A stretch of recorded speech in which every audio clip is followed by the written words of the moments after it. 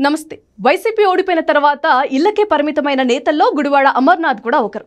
అప్పట్లో జగన్ను ఎవరైనా ఏమైనా అంటే పెద్ద మేధావి తరహాలో మీడియా ముందుకు వచ్చి తన తెలివి తక్కువతనం బయట పెట్టుకునేవారు. అలా ఎన్నోసార్లు నవ్వులు పాలయ్యారు. ఇలా ప్రస్తుతం విశాఖ జిల్లా నుంచి వైసీపీలో కీలకంగా కొనసాగుతున్న మాజీ మంత్రి గుడివాడ అమర్నాథ్ ఇటీవలే మరీ మౌనంగా ఉంటున్నారు. విశాఖ జిల్లా వైసీపీ ఎమ్మెల్సీ అభ్యర్థిగా విజయనగరం నుంచి మాజీ మంత్రి సీనియర్ నేత బొత్స సత్యనారాయణ పేరును పార్టీ ప్రకటించిన నేపథ్యంలో గుడివాడ అమర్నాథ్ పార్టీ కార్యకలాపాలకు దూరమయ్యారనే ప్రచారం జరుగుతోంది. ఎమ్మెల్సీ అభ్యర్థి ఎంపికకు సంబంధించి తాడేపల్లిలోని పార్టీ అధిష్టానం ఏర్పాటు చేసిన సమావేశానికి హాజరైన ఆయన ఆ తర్వాత కనిపించలేదు. గుడివాడ అమర్నాథ్ స్వయంగా ఎమ్మెల్సీ స్థానానికి పోటీ చేయాలని భావిస్తున్నట్లుగా ఊహాగానాలు వచ్చాయి. ముఖ్యంగా జగన్కు అత్యంత సన్నిహితుడిగా పేరు తెచ్చుకున్న కూడా జగన్ ఆయన పేరును మాత్రం ఖరారు చేస్తారని బాగా నమ్మారు.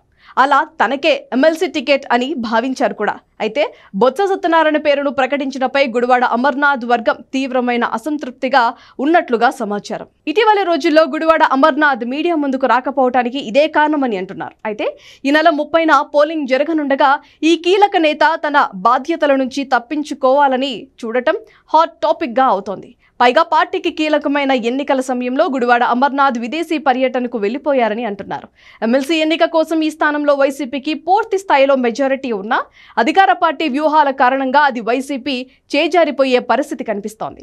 ఇప్పటికే ఎంతో మంది ఉత్తరాంధ్ర వైసీపీ నేతలు గోడలు దూకి కూటమి పార్టీలోకి వెళ్ళిపోతున్నారు. ఇలాంటి వారిని గుర్తించి అడ్డుకోవాల్సిన మాజీ మంత్రి తనకే సంబంధం లేనట్లుగా వ్యవహరించడంపై జగన్కు ఆందోళన కలుగుతోంది.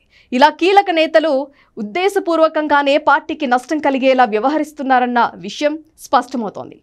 ఈ నేపథ్యంలోనే ఎమ్మెల్సీ ఎన్నికల విషయంలో జగన్ను గుడివాడ అమర్నాథ్ వ్యవహారం కంగారు పుట్టిస్తుందని అంటున్నారు.